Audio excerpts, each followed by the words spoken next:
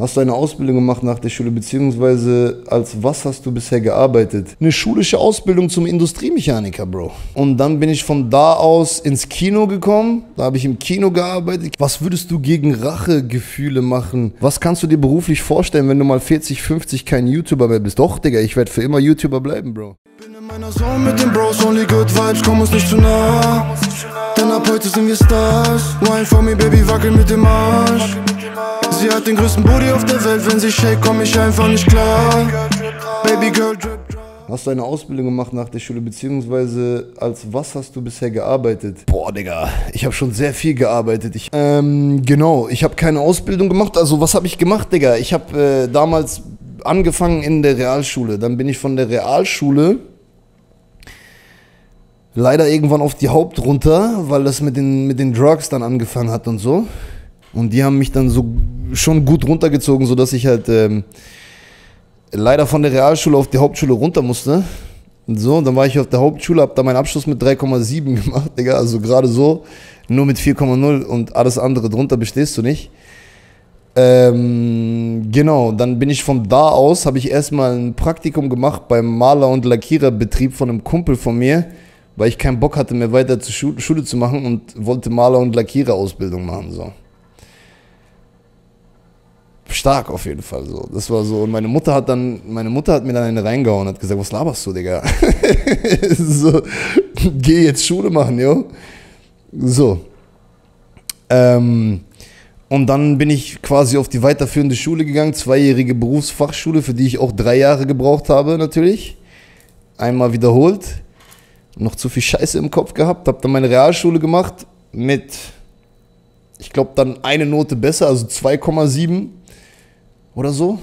Weiß ich gar nicht mehr genau. Dann habe ich noch, dann war ich halt im Flow drin und habe dann noch meine, also die zweijährige Berufsfachschule war, also eigentlich habe ich eine, eigentlich habe ich eine, eine schulische Ausbildung zum Industriemechaniker, Bro.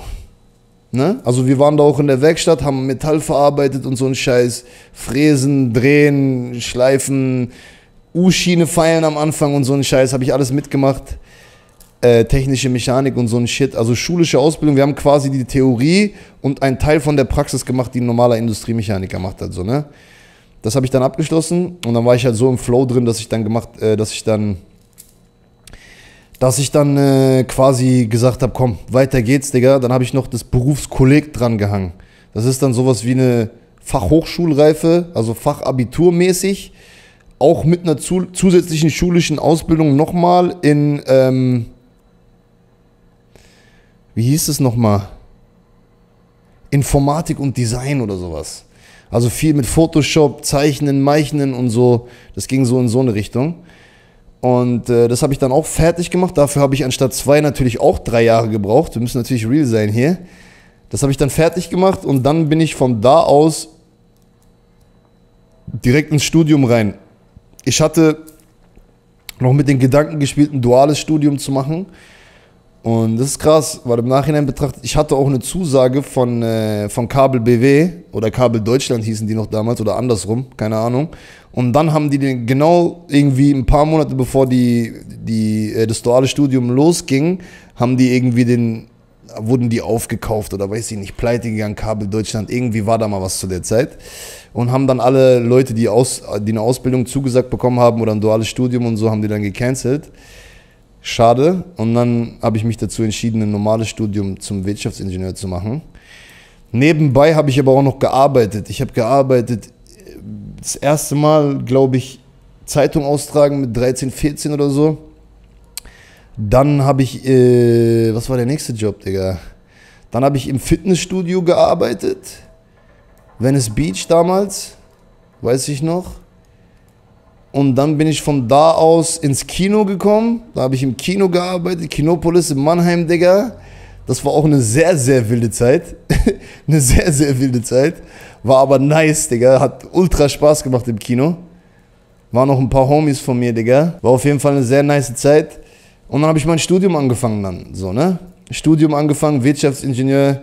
Nee, nee, Kinopolis in Mannheim. Nee, ist nicht Kinopolis, Cineplex, Bruder. Nicht Cinemax, Cineplex. Cineplex habe ich gearbeitet. Äh, war eine coole Zeit. Dann habe ich angefangen zu studieren. Und dann musste ich ja auch wegen dem, während dem Studium musste ich ja dann quasi auch äh, Praxissemester machen. Das habe ich dann bei der BMW-Niederlassung in Mannheim gemacht. Und das muss ich sagen, war so der coolste Arbeitgeber bis jetzt. So, wo ich auf jeden Fall äh, sehr viel auch mitgenommen habe. So, das erste Mal auch einen Chef hatte, der so richtig Liebe für mich da hatte, Digga. Das war auf jeden Fall eine sehr, sehr geile Zeit. Eine sehr geile Zeit. Will ich auch nicht missen, so. Die hat mich auch zu dem gemacht, der ich heute bin. Aber ich habe das Studium nicht abgeschlossen. Ne? Das muss man natürlich auch dazu sagen. Ich hätte noch eine Klausur schreiben müssen. Ich habe Bachelorarbeit geschrieben, ich habe alle Klausuren geschrieben, ich habe alles bestanden, alles war nice. Und dann hätte ich noch Elektrotechnik 3 im Labor machen müssen. Ähm, und dann kam die Entscheidung von mir persönlich, wo ich gesagt habe, nee, Digga, ich sehe so nicht meine Zukunft. Meine Zukunft sehe ich woanders und äh, habe dann alles stehen und liegen gelassen und bin quasi nach Berlin gegangen, Digga. Yeah. Und dann ging es weiter so. Und heute bin ich in fucking Tulum, Bro. Mexiko. das Leben äh, spielt manchmal echt, äh, geht manchmal echt krasse Bahn so. Ne? Was kannst du dir beruflich vorstellen, wenn du mal 40, 50 kein YouTuber mehr bist? Doch, Digga, ich werde für immer YouTuber bleiben, Bro. Ich bin YouTuber, Digga, das geht doch nicht mehr weg. Das habe ich auch schon damals zu meiner Mutter gesagt. Ich will irgendwann, wenn, wenn alles ruhig ist, so, wenn alles nice ist, wenn ich mein schönes Häuschen irgendwo am Meer habe, so, ähm, Bruder, dann drehe ich Videos, Digga, auch mit 50, 60, 70. Scheiße. Gerade dann fängst du doch erst an, interessant zu werden, finde ich, weil dann kannst du ja richtig auch Weisheiten mitgeben und den Leuten wirklich was mitgeben, so.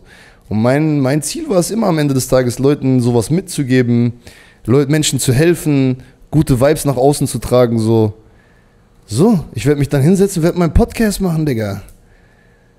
What's going on here, man? Auch mit 50, 60 kann ich auch noch Mucke machen, Bro. So, ist doch alles easy, Digga. Gibt's gar kein, gibt's gar kein, gibt's gar kein Ding. Aber mein Ziel und mein Traum ist es auch, was auch schon immer so war, ähm, so eine Art Label zu haben. Jetzt nicht nur auf Musik bezogen, sondern auch auf Leute, die einfach einen Traum haben, eine Vision haben und irgendwas machen wollen, was auch so ein bisschen mit Öffentlichkeit zu tun hat, muss aber eigentlich auch nicht unbedingt nur mit Öffentlichkeit zu tun haben. Menschen einfach dabei unterstützen, ihren Traum zu finden und ihren Traum zu leben. So. Erstmal mit den Talks, den ich, die ich mache vielleicht und dann im zweiten Schritt, dann habe ich vielleicht sogar ein Label oder irgendwie ein Netzwerk oder irgendwas, wo ich halt Leute unterstützen kann, Digga. So, das ist mein Traum eigentlich. Und daran halte ich auch fest, Bruder. Und das ist auch immer möglich, weißt du? Die Perle auf deinem neuen Insta-Bild ist deine Perle? Fragezeichen? Nee, Bro. Das ist aus dem Musikvideo, Digga. Nicht falsch verstehen, Digga. Perle it out, man. I don't got a Perle, man. Bro, wie oft cheatest du? Fast Food drin, man? Selten oder kommt oft vor? Geht. Geht. So viel Fast Food gibt es ja hier leider nicht für Veganer. So, wo ich in Mannheim war oder in Deutschland, habe ich schon öfter mal mir einen veganen Burger beim Mc's reingezogen, so. Gerne auch. Aber so viel Fastfood gibt's hier nicht. Ich esse mal Süßigkeiten, mal ein paar Chips und so ab und zu. Aber das ist halt so Ding, Mann, Alter. Das kannst du halt nicht als Cheaten betrachten. Ich würde keine Cheat Days machen oder so. Ich ab und zu mal eine Kleinigkeit, so wenn ich Bock drauf hab, rein da. Was würdest du gegen Rachegefühle machen? Hab aufgehört zu kiffen. Seitdem habe ich sowas wie eine Stimme oder eher ein Gefühl, dass ich paar Leute bearbeiten muss, die mir in der Vergangenheit Schlechtes getan haben. Uh, also ich glaube daran, dass wenn du so eine Gefühle hast, Bro, muss ein bisschen mehr in Balance reinkommen, weißt du, wie ich meine? Kann sein, dass deine Balance jetzt ein bisschen aus dem Ruder geraten ist, weil du aufgehört hast zu kiffen und so und du jetzt da ein bisschen emotional einfach verwirrt bist, so viele Emotionen auf einmal irgendwie hochkommen, Sachen, die du vielleicht mit dem Kiffen unterdrückt hast, so. Aber ich würde dir raten, chill auf jeden Fall. Ähm, Bruder, es ist, es ist, äh, es ist, es ist, äh, wie soll ich sagen? Rache ist nie was Gutes, Bruder. Weißt du, ich meine, manche Leute sagen Auge um Auge, Zahn um Zahn. Manche Leute sagen, wenn einer mir das angetan hat, darf ich ihm das auch antun und so eine Sachen. Ich bin ein Fan davon, also ich glaube an Gott und ich glaube an Karma, an Gottes Karma und ich glaube, dass alles irgendwie am Ende des Tages irgendwo gerade gerückt wird. Deswegen solltest du vertrauen so. Ähm, fang an zu beten, fang an mit Yoga, fang an zu meditieren, Bruder. Das sind so die Sachen, die ich dir empfehlen kann. Auch wenn es jetzt sehr hippie-mäßig klingt so. Das sind Dinge auf jeden Fall, die mir geholfen haben. Einer sagt, rauch besser weiter.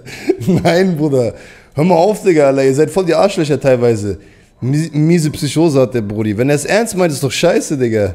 Hört mal auf, sowas zu schreiben. Ich versuche ehrlich zu. Kann auch sein, dass er mich hops genommen hat, aber ich versuche halt ehrlich äh, Tipps zu geben, so. Und ich sage dir, chill, bleib cool, mach Sport, geh boxen, irgendwie sowas. Ich schwöre, der sagt einfach auch weiter, Bruder. Dafür eigentlich kurz einen Bann, Digga. Alter.